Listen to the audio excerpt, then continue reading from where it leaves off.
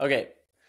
So, first question here Hendrik from Germany sends in a couple questions. The first one I'm just going to read for right now. That way we can ponder over it and probably come back to it on another episode. But it's a good question that I wanted to read in there here. So, Hendrik says, uh, What's new in science? As I came over from Dylan's YouTube videos and have a background in science, although a completely different discipline, myself, I always wanted to be up to date with the latest scientific findings. So, an episode where you discuss new findings and maybe tell us listeners in which field there will be new studies, that would be great. Uh, the, through your episodes, we could hear from this uh, or the new study or research, but one big episode where you get an overview would be really nice. So he's saying like you know we've we've talked about some of like you know newer emerging emer- emerging um, like studies in the field, but um, he's kind of requesting one big episode. So I think I think it'd be cool for us to do an episode like that where we just talk about some of the latest findings. Um, so wanted to read yeah, that I do here. Have one thing I do have one Yeah. thing to uh, like mention that like a year ago, I remember Seiler talking about how he was in the process of doing research on respiration, like respiration rate and our breathing rate. You know, like we have heart rate and power, and he was doing studies and research on like looking at how quick people breathe. I guess like breaths per minute or something. And I remember thinking like, oh, I'm I'm curious about that. So him asking this question has like re-sparked my interest in like I wonder if Seiler has put out that research yet or if he's still if it's still happening. So well, why don't we to- pull together a full episode where we can find out ahead of time? I'll have to do some homework. Yeah. Uh, okay, cool. So leaving that one out there for next time. Uh, second question here from Henrik. He says marginal versus maximal gains in training.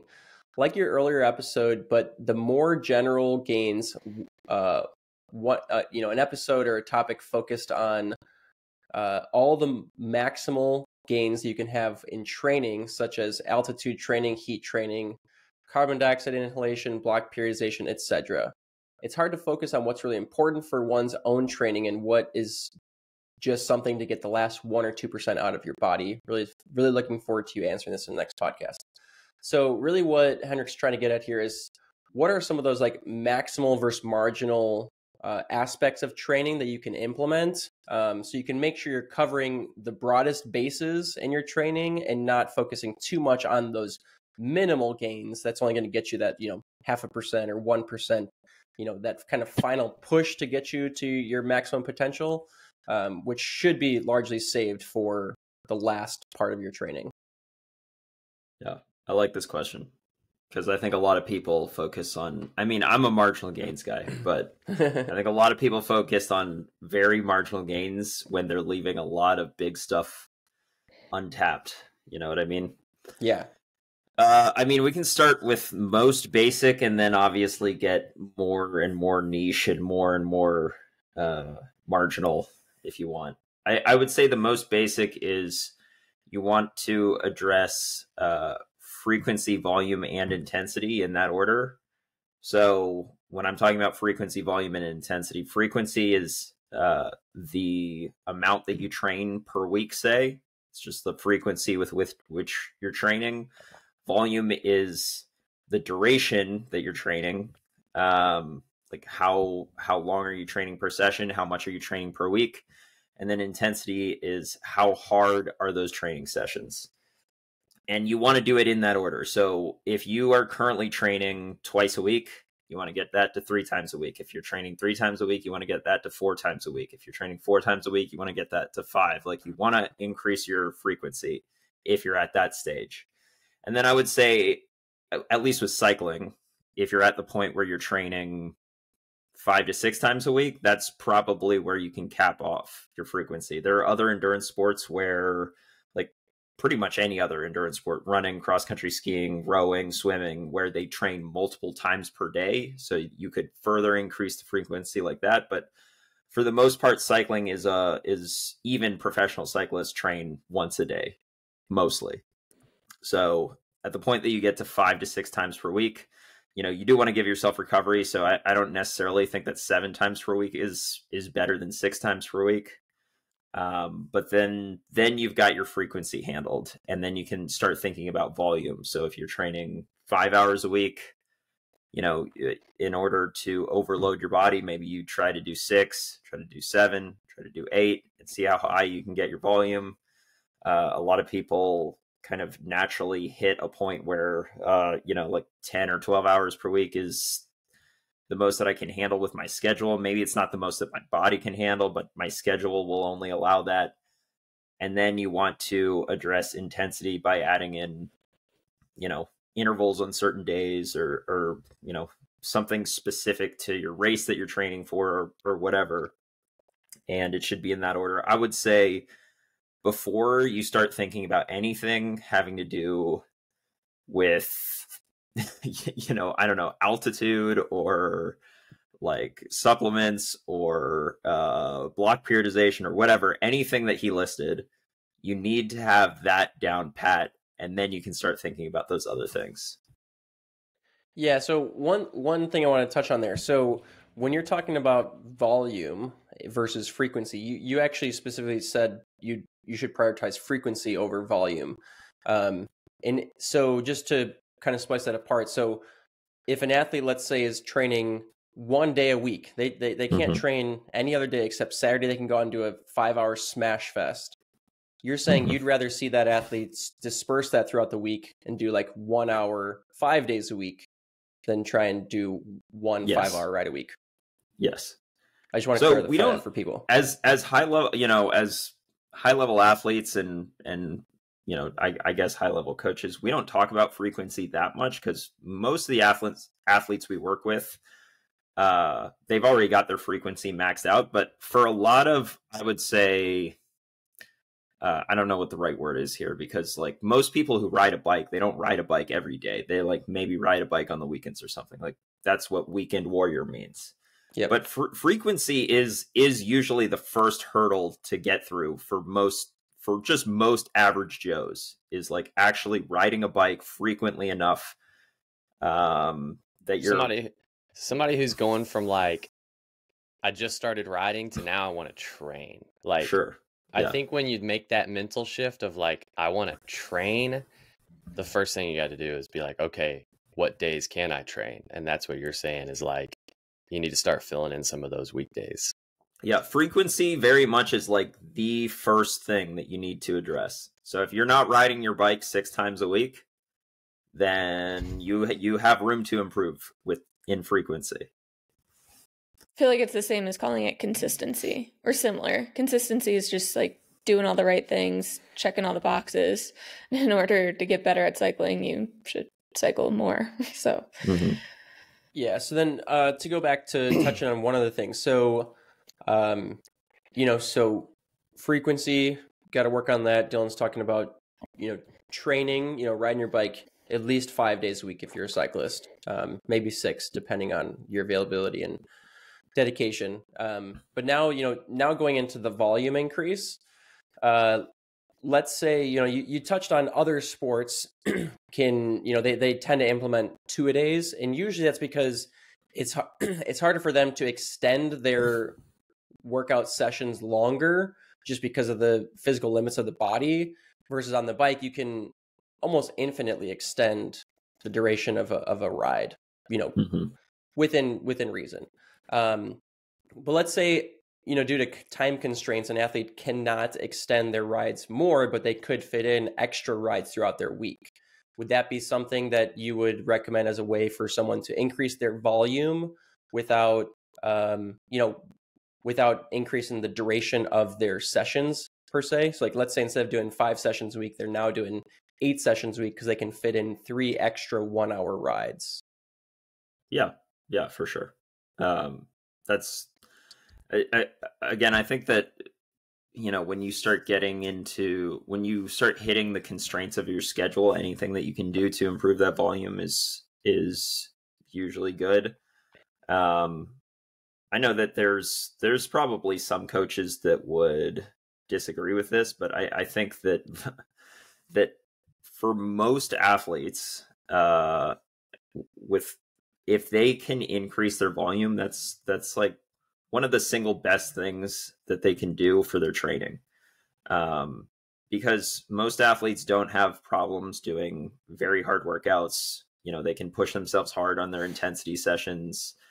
Uh, and I would say most athletes, if they're serious, they are already riding five to six times a week. So I'm I'm talking about frequency and intensity here, but it's just you know the difference between 10 hours a week and 12 hours a week or 12 hours a week and 15 hours a week um yeah i i i think volume is huge.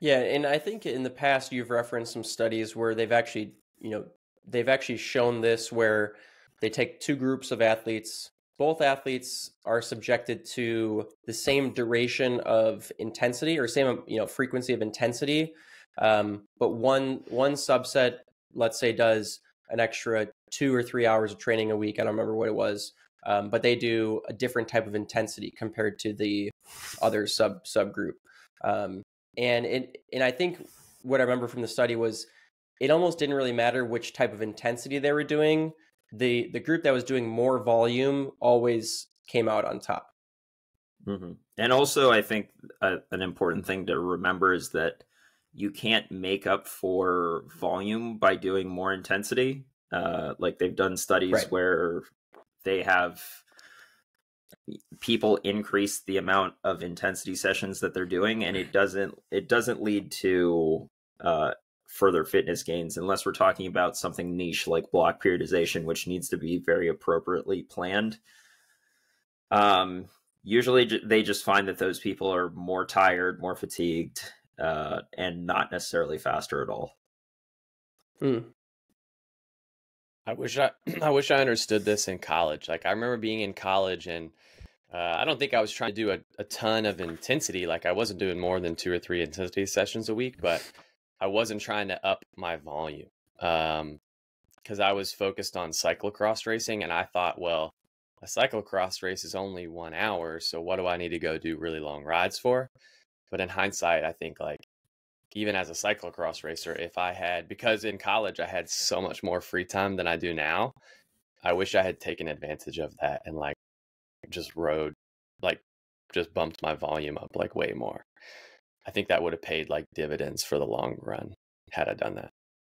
But I didn't understand this concept of like increase your volume and that's like an easy way to or not easy, but a simple way to increase fitness.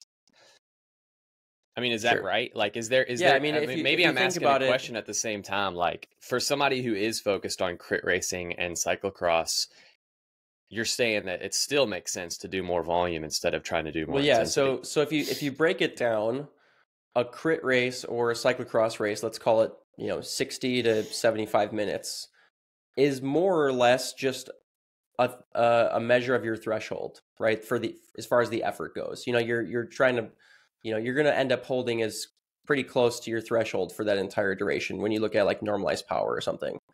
So if you can increase your threshold, your performance is going to be better. And one of the best ways to increase your threshold is doing more volume. Yeah. Mm-hmm. We we would say the same thing but say it in two different ways. So I would say a crit is about repeatability and the way to support that repeatability is through your aerobic base. Hmm. sure yep. Yeah. Which is also supported by more volume so yeah. Yeah. Now it the the, the polar extreme you know like when you're looking at like track races or and it and they have to be really short track races and i'm even actually thinking more of like running track races like when you're getting really short and you're talking about like the 400 meter where you're getting like under a minute. Um, those I think they've you know there there have been some arguments that there is an upper limit to how much volume you want to do just so that your your training sessions can be more higher quality. Um, but I the, the, large majority of cycling related uh, races are are going to be are going to fall you know way into the aerobic um, realm. Yeah, I mean, just like with everything, there's uh you can you can train too much absolutely. There's there is such a thing as too much volume. I guess the argument that i'm making is that almost no one falls into that category because they've got time natural time constraints in their schedule.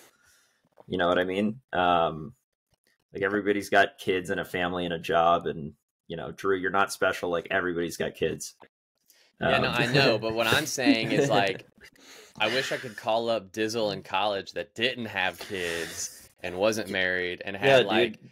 easy Also- college classes. Like I could have just called up College Dizzle and said, "Dude, get off your bum and go train."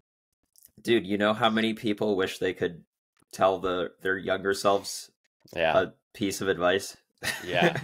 nah, screw all the other advice. I would just tell myself train more. Stop Yeah, being no- a bum.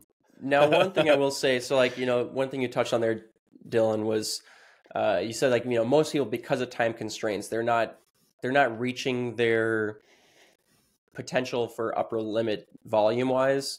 Mhm. Um, but that's just talking just straight exercising Mhm. uh, you know, upper constraint. You know, if you're if you only have if you can only squeeze in 12 hours a week of training and you're training every single week that maximum limit of 12 hours and it's contributing to excess stress elsewhere in your life, you probably will reach a breaking point doing that.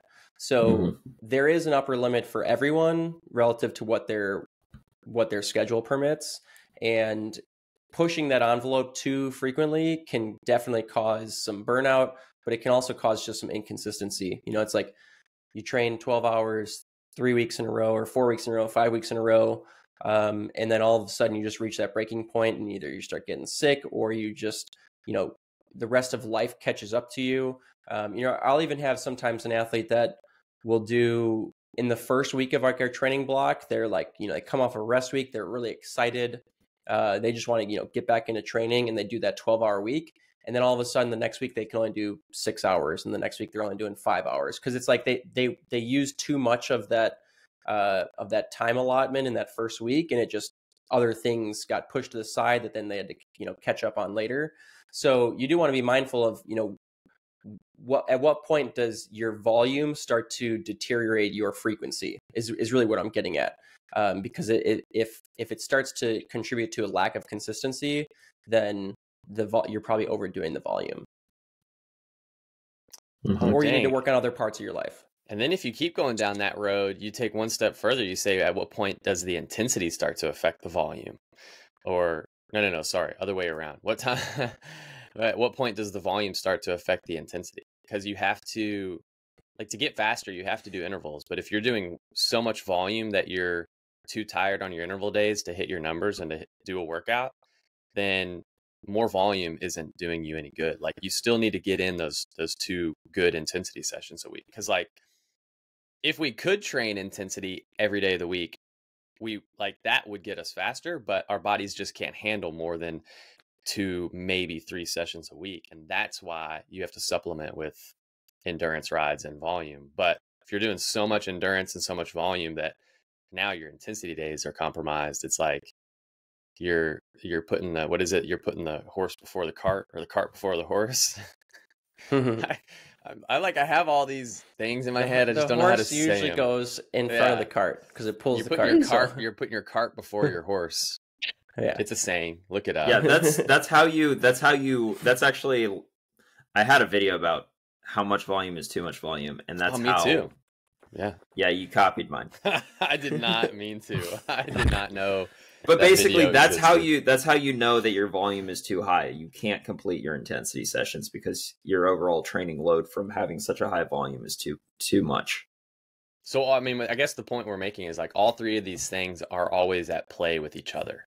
So if you Yeah. like you if you mess with one too much, it's going to affect the other ones, and you you kind of have to keep all three in balance. Yeah, I would say more so for a serious cyclist, you keep two in balance because frequency should always be maxed out, uh, unless it's the off season, in which case you take a break. But usually, there's I I can never think of a scenario where, other than the off season or a mid season break, where you should purposefully decrease frequency for some reason. Yeah.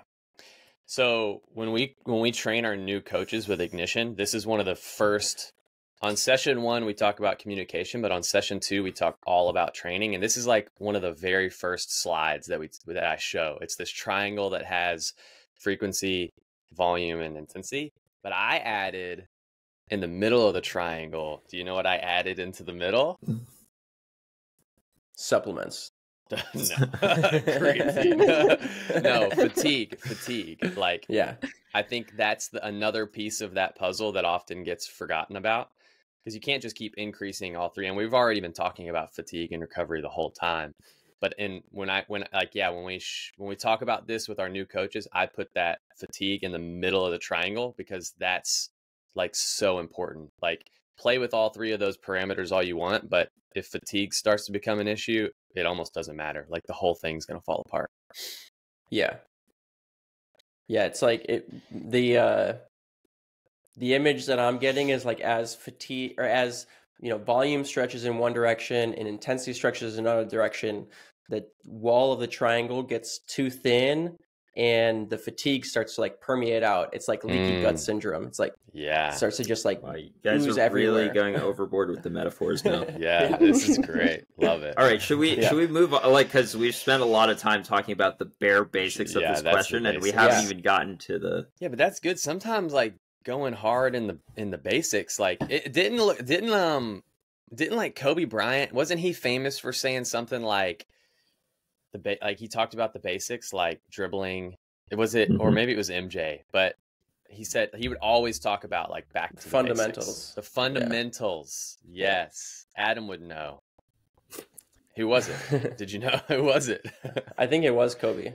Yeah, Kobe was all about the fundamentals. Like you got to be good at dribbling before you Yeah, can be good. agreed. Yeah, Agreed. yeah. All right. So Hendrik did want like a more thorough list. He gave examples of like hmm. altitude training, periodization, but I feel like covering those first three is the most important, and then recovery, and then the rest. I feel like is so specific to the athlete. So I love this question, but I hate this question too because Well, so I, I do mean- think I do think that there is a, a next a next one after uh, Oh, frequency, volume, and intensity. I do think that there's an important next one.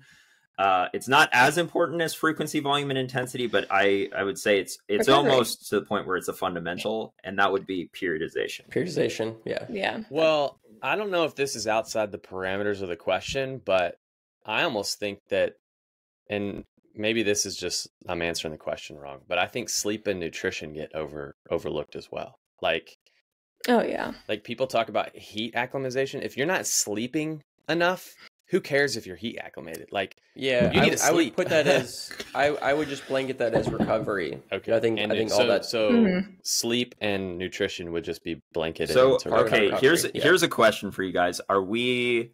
I think we all agree that frequency, volume, and intensity is like the very first thing.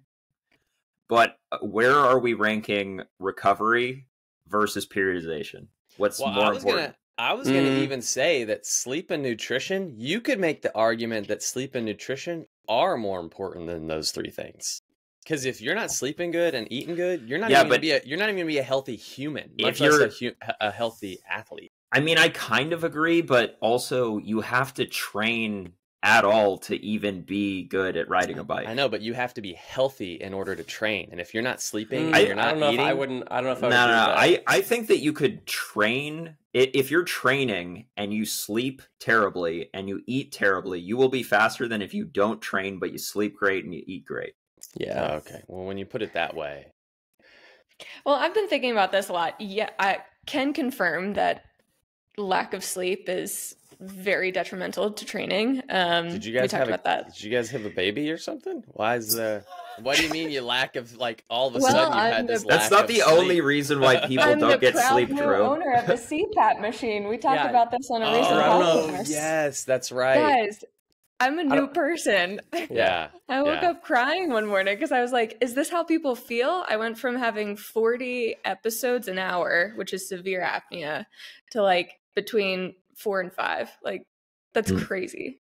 So, Okay. So you're saying you're you're getting more sleep than you've ever had, Yes. Yeah. or better sleep? Yeah. Okay, so I thought you meant the All other the way. above. I thought you meant the other way around. Like when you have a kid, you get less sleep than you've ever Drew, had. people lose sleep for other reasons other than having. I having know, a kid. I know, but that's like the one that people talk about the most. It's the one you talk about the most. Yeah, it is. Yeah. So All right, But- so are we all in agreement that uh, recovery very important, but it goes after frequency, volume, intensity? wait, wait, wait. I'm not finished yet. So, Okay, sorry. um, sleep what shoot what i was going to say oh i've been thinking about this a lot i feel like to help an athlete be reach their optimal performance i'm kind of on the side of drew like they need to be their optimal healthy self and in order to do that that's sleep and nutrition Okay, so we're not in if Mm. somebody's Ooh. hitting- hitting you know mcdonald's every night after work So we're so so. Well, I, so- just to clarify, we're not in agreement here. Well, the way Dylan said it does make sense. Like you could, it yeah. They, what he said, like depends if on- somebody's eating McDonald's and barely sleeping, So but here's training, he- they're still gonna beat somebody. here's a thought. So so I think it's I mean it's all important, but let's let's let's assume we're talking about people that are that are interested in training. They want to train to get better, right? Like that's what this conversation is all about.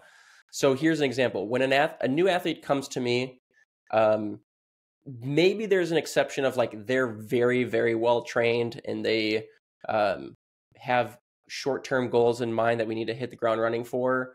Um, with that exception, with with you know, assuming that's not one of the exceptions, most of the time when an athlete comes to me, I set their first month of training where all three weeks are the exact same week of training.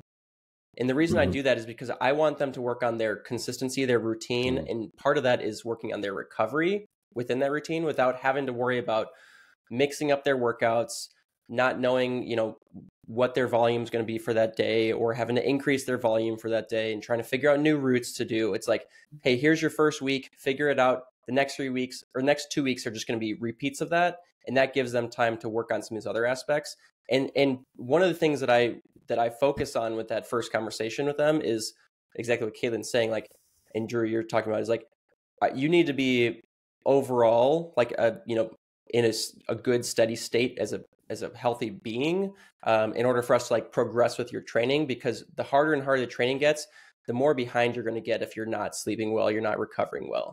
So that first month like gives them the chance to, to like figure out that routine that allows them to get that recoverability uh, as, as part of that routine.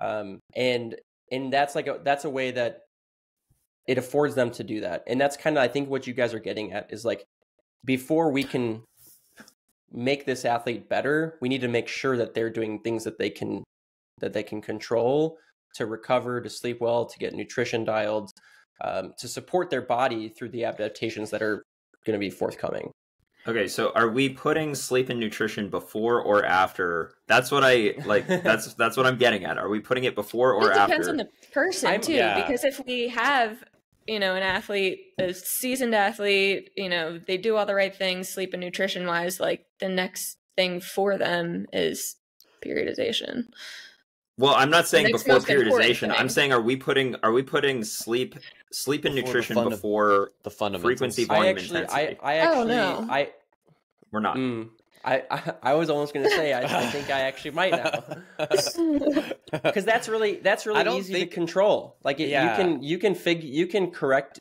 bad sleep habits within a couple weeks so like if an athlete came to me and said like you know hey i'm really eager to train but i'm only sleeping four hours a night i might yeah, but say you can well, also correct bad training habits, you know, instantly if you if they're doing bad training habits and then you tell them to do something else.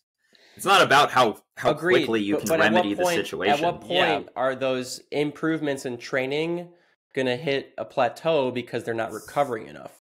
So And- if it if if I can give an athlete a two week period and say, hey, I know you want to start training, but I need you to come back to me in two weeks after you've proven to me that you're sleeping seven hours a night. And then once you're sleeping seven hours a night, now we'll introduce some new training habits. I'd, I'd rather do that because it's going to be way harder for them to correct their sleep patterns and, and recovery patterns amidst hard training. And Okay. if you uh like if you think about it in terms of FTP, like if somebody goes from sleeping 4 hours to 8 hours, their FTP is going to go up like 50 50 watts just not if they don't train. If Yeah, they don't but- train, but- their FTP won't go up at I all. No, but listen, if they're let's just assume they're training the same amount. Like Yeah, this yeah, is yeah. the this is like a, tr- a tr- just like let's say they go from 4 hours of sleep to 8 hours. They're overnight or maybe within 2 days once they catch up. two nights. Give me two nights and their FTP is going to go up a you know, boatload. So you're t- you're talking but as far you- as maximal gains that you're Well, but I'm also saying, saying... like what Dylan is saying. Yeah, you could remedy the training quickly as well, but that's only going to lead to like a couple of watts. Like it's going to take a long time for the training remedy to actually take effect because that's how training works. Training is Right. like for the long haul. You sleep, you you fix your sleep, and it's like immediate. Like listen to what Caitlin Mhm. said. She like was getting better sleep and was like immediately felt better, and I can guarantee you that leads to an increased FTP. Okay. Well, I mean, I, I think it could be argued either way. Yeah, I think so too. I think that's what we've landed on. Yeah. Okay. Yeah, we're uh, D- depends on the Okay. person. Could be argued either way. All right. So, I would say I would moving on to argue that periodization. after that is periodization, and periodization is basically just how your training changes over time. And if you do want to improve at a certain point, your training training does need to change over time. You can't just do the same training week over and over and over and over again. That's uh, that's how you're going to hit a plateau. So I would say periodization is like the next, you know, low hanging fruit that you can easily pick. Agreed. Yep. And just to add a note here, periodization does not need to be d- d- doesn't have to be more complex. Mm-hmm. It just means you're you're training the right energy systems and overloading those properly for what your goals are. Yeah. Um. All right. What what did what specifically did he list? I mean, we can list Uh, so other he, things. he other mentioned than some what he lists, other yeah, so he so mentioned this some is other where things it like goes from marginal or sorry where it starts to switch from maximal to marginal right because now we're asking but, him eh, about- potentially. yeah Because I would say I would say a next a, the next one to throw in would be strength training. yeah he didn't even list that in there did he nope. That would that would be that's like that's like the next thing I'm reaching for is strength training. yeah i forgot about strength training good good point Okay.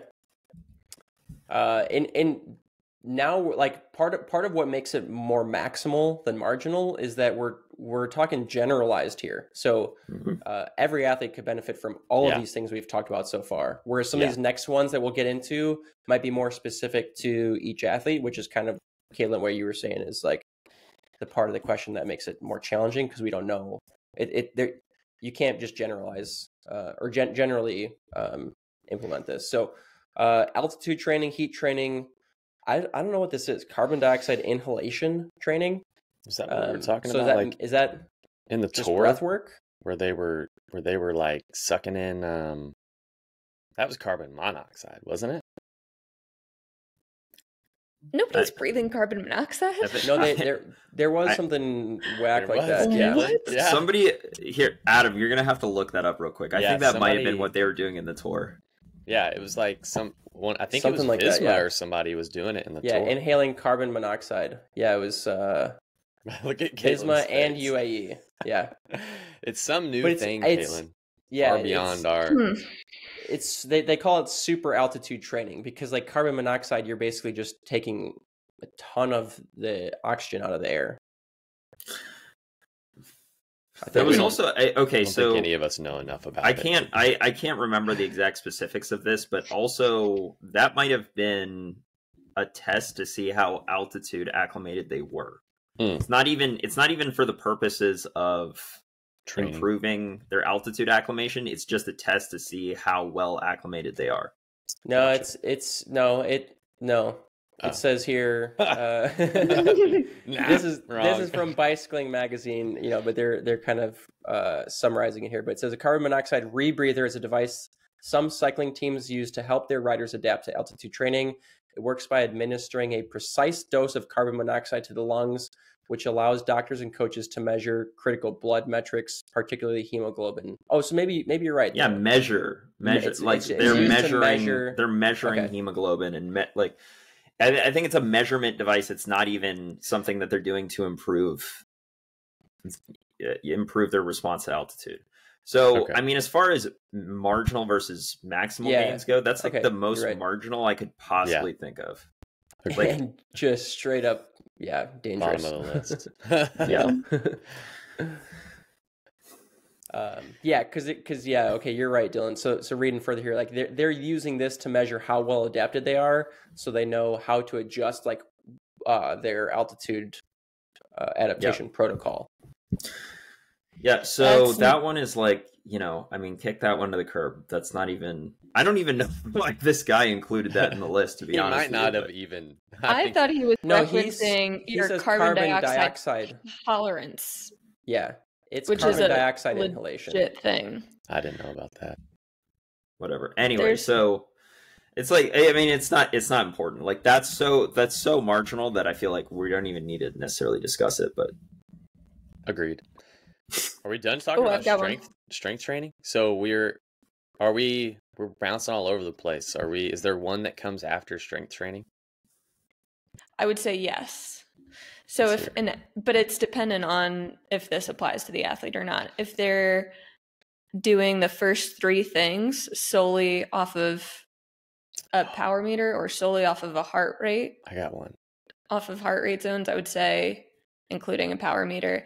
I guess you could call this like tracking progress or like I don't know what I'm trying to say here, metrics to track a, a way to see how far you've come, set goals for yourself.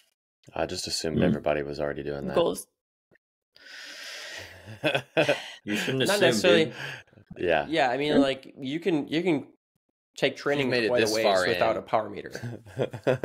Yeah, but but so, if they're so, so I, I agree. doing Like if you want to, Oh, yeah. So if you want to take it to the next level, this might mhm. universally apply that having adding a power meter to your training regimen is yeah. is a somewhat think that low would fit in. mark. Yeah, that would fit in pretty closely. Like, if somebody had to say, should I get a gym membership or a power meter? I think I would say, ooh, that's a close one. I think I would say gym membership.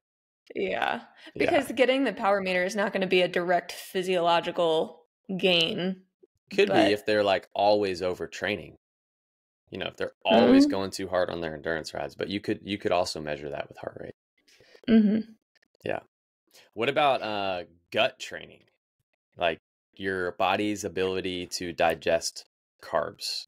Yeah. Okay, was so I, gonna think now we're getting into stuff that's that's niche to whatever event you're training for. So gut training, heat training, altitude training. Gut training. Those what? You don't. if you can I think- digest more carbs, Yeah, but like some people gonna- only train for crits or cyclocross races. They don't need to digest don't more think- carbs. Yeah, but for training, yeah, if we're talking about just training, I could see where in a race you don't intake carbs. But if you can digest more carbs in your training, your training's only going to be better. I, I can see what I can see what you're talking about. I still think it's a niche. Eh, I and actually out of those three, gut like if we're saying gut, heat, altitude, I think out of those three, just in general, gut is probably the most important out of those three. Oh, okay, good. I thought you were going to say the opposite. I was like, No. don't even. Well, I don't know. Maybe the opposite if you're training for a short altitude race. Like, let's say XC Nationals happens to be at really high altitude and it's only Mhm. an hour and a half. I would say altitude training is more important than gut training in that situation. okay, Yeah. okay, I see what you're saying. It- it- so, so when we get into the when we get into I don't know this territory where we're talking about stuff that you need to do for specific races, like you need heat training for hot races, you need altitude training for altitude races. I mean, some would argue that you need altitude training for low altitude races too, although I would say the research on that is is like a little more shaky because there's some research that suggests that altitude training for low altitude races is not even really helpful, although a lot of world tour teams are using altitude training for low altitude races. But now it's kind of race dependent, right? So, So I would say race specificity, slide that in right before All of those. periodization because your periodization Well, it's kind of the same should thing, be isn't it? affected by the race specificity. Like the Mhm. Yeah, I definition of periodization is to go from general training to specific training, Yeah. block, block by block. Mm. Yeah. So I think you're talking, Dylan. You're talking about aspects of the race specificity that extend beyond like the physical training, like Yeah. like the Yeah. workout sessions. Uh-huh. You're talking There we about go. uh, like external adaptations. yeah, and and those are all dependent on the demands of the race. Like if Yeah. you're training for so man. Uh, I'm trying to think of other examples that, but like gut training, heat training, think- altitude I think training. Heat, I think heat training. If you're if you're going to race in the heat versus going to the, a race in, at altitude, I think heat heat adaptation is more important than altitude adaptation. hmm Well, heat heat adaptation can help with both. So I kn- I know I knew you were going to say Yeah. that, but but I think there's a much more likely chance of s- performance suffering due to lack of heat adaptation than lack of altitude adaptation. yeah, I mean, depends on the race. It could be a really cold, high altitude race. That's what I'm saying. It just it just depends on Right. the. He's talking about two separate athletes. Two separate like, athletes. Oh, okay. An athlete training for what's more important, this athlete that's going to the altitude race training or getting acclimatized to the altitude versus an athlete training for a mountain bike race in the dead heat of Texas. Yeah, I, I, yeah, I agree with that. I I think that people actually overestimate how much altitude training gives you. Like, I think that's a pretty marginal Correct. gain. Yeah. Like, I more what I think I think at. that people Yes. think that if you don't live at Leadville for a month before Leadville, then you're screwed. Like you might as well not go, which I don't think is the case at all. I, I think there you're obviously at a disadvantage, but I think that disadvantage is in we're talking about like single digit percent, Low single digit percent. low single digit percent. Like it's not nearly as big as people think it is. Yeah. because people forget that being fully uh I always say acclimatized. Is that the right word? That's acclimated I or thought- acclimatized. Accli- acclimated. I feel like acclimatized is for like heat adaptation. Right? Well, but for weather. I mean, So anyway. acclimated acclimated is off, often used to refer referred to the short term, and acclimatized is more long term. But Okay. they both can be used. but I feel like people forget even if they're 100% acclimated, they're still not that doesn't mean they're getting 100% of their power that they would at sea level. They're still yeah, Not even Um, close. Yeah. yeah. Yeah, yeah. Again, we're talking about low single digit percent increase between Mhm. you know spending a month at Leadville and then just showing up the day before. Yep. All right. Anything else? Anything else we want to Where throw does on that list? where does uh where does EPO fall into this? Is that that's probably maximal, right? Well, I mean, we could we could legitimately talk about supplements, like Yeah. how much Legal- where we legal think supplements, supplements. rank. Legal supplements. I feel like that's a bottom of the list. Like if you Yeah, because we put low. I mean, nutrition you- far up there, and if you're eating a variety of like Mhm. good food, I mean, I, I like- personally, I put it, be- I put it behind, marginal. I put it behind uh, altitude, heat, gut training. I put it behind that. Yeah. So I guess a supplement could be like a you know your immediate recovery shake after, and that's pretty important. yeah, I mean, there's there's also there's also people who, for whatever reason, they don't absorb a certain nutrient well. Uh, like for example, one that comes to mind is like some people really, uh, really suffer with iron deficiency, which can have a huge impact on your performance. And it's like without iron supplementation, they would be significantly slower. But because they supplement with iron, they are faster. And that that actually, I mean, you could make the argument that that's like where where I would rank somebody who's iron deficient versus somebody who has sufficient iron is like I mean, we're putting that kind of around the same level as like sleep, right? I mean, I mean, yeah. It can make a I mean, it can make that big a difference. Yeah. yeah. Get your annual blood work, kids. Yep. Uh, okay, cool. Well, I think that pretty much covers That it. was good. If anyone else has, I think so. if any of our listeners have any other uh, maximal versus marginal training gains, uh, feel free to send it to us. It'd be be cool to hear what other people are kind of focused on. Um, but yeah, that was good. We're gonna skip this next question right. for for now. That was a long episode. Yep. Uh, and then Hendrik, we'll get back to you on the topic of new science in endurance sports. Okay. See you guys. Yeah. See ya. See ya.